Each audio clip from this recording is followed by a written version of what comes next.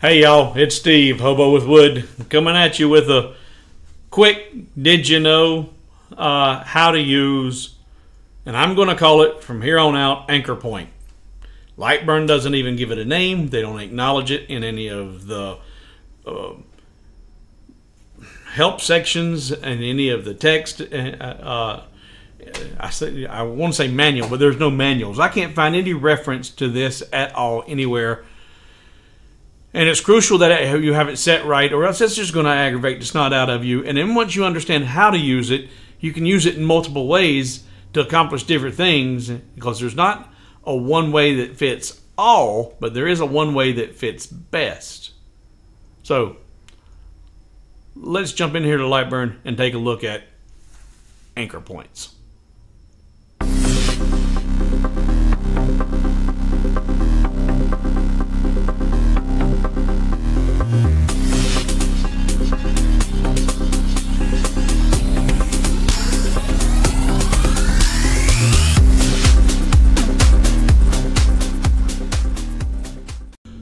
Okay, so we're in Lightburn, and what's aggravating, not aggravating, but if you if you look at these tools on your toolpath up here, your your menu, as you hover over, over them, it will give you a description of what it is and what it does. Pan, uh, zoom to page, zoom in, zoom out, uh, zoom to frame. But whenever you this one is only and, and it only does that if it's high no it, don't, it does it all the time. So even when it's not available if you hover over it it gives you what that is align selected objects along their vertical centers. Even gives you the hotkeys the shortcuts. Well if you hover over these this grid of circles right here it doesn't do anything right now. And if we draw a circle let's draw a two inch circle make it two inches. All right, now that I've got a circle on here and I've got it selected, it is no longer grayed out. You can move these dots around, but nothing's happening on the screen. There is one small thing happening on the screen, and I'll show you. You don't see anything on your work table that's happening. But what is changing is if you look over here, your XY position right now with this set in the lower left corner, it's showing you it's 19.01 and this is 5.70. But if I come up here to the top left, watch what happens to your Y position. It just changed to 3.7. Go back to the bottom, it's 5.7. All right, so that is the anchor point of the image. It's the origin point of the image. Okay? I like anchor point. Because I, the way I think of it is if that circle was a boat and I don't want this position to move, if I want this uh, lower left position of that circle to stay the same as I'm altering its dimensions, that's where I'm going to drop anchor. Drop anchor right there. Well, 98% of the time you actually want to have it dropped in the middle. Because if you're doing intricate designs or, or multiple images and you've centered them all up and then you change one and your anchor point's off and it jumps way up here out of the way, now you got to recenter everything again. Well, if you've got that in center, changing your dimensions is not going to change its, its centered location. So, a lot of words. What did he just say? Well, let's take a look at this.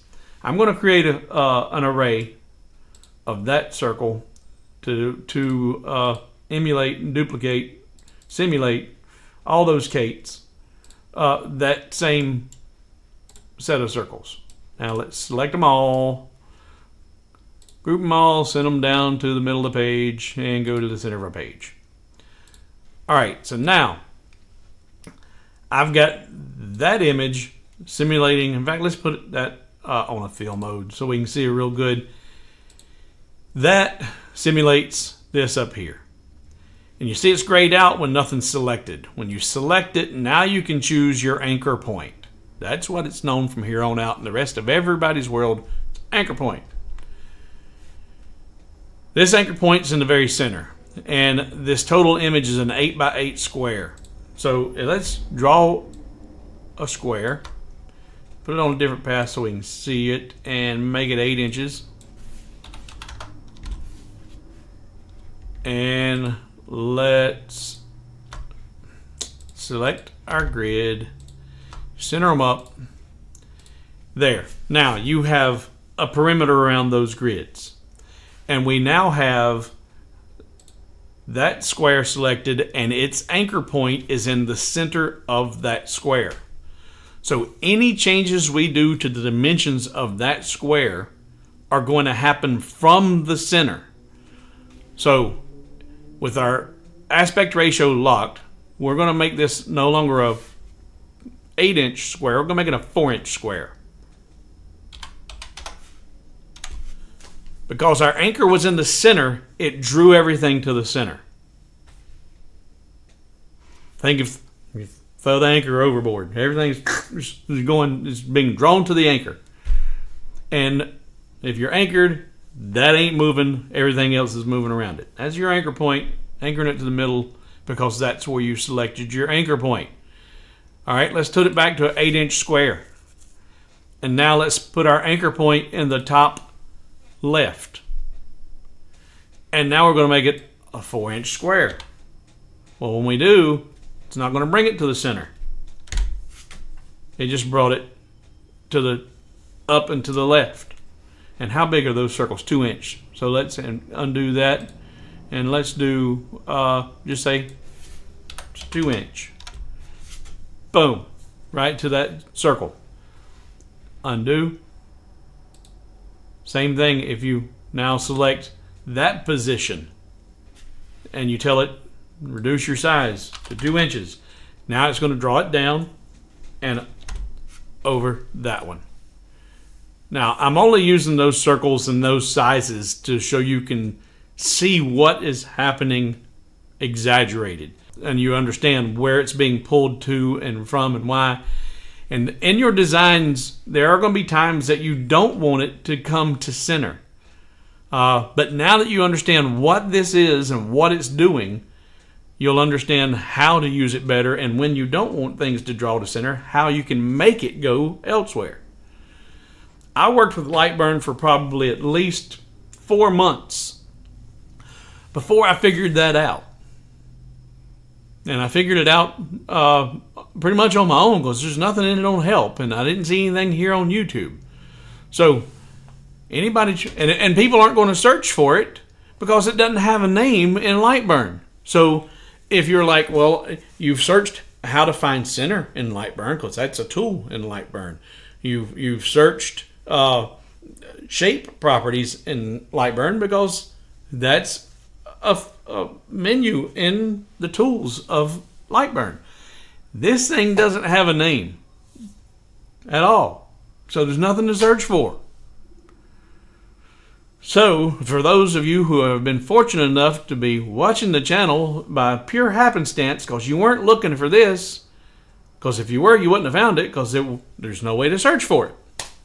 Well, if we all start calling it anchor point from here on out and we get Lightburn involved, say, hey guys, you haven't tagged it, I don't care what you called it before, we're now calling it an anchor point, and that's what you need to call it from here on out.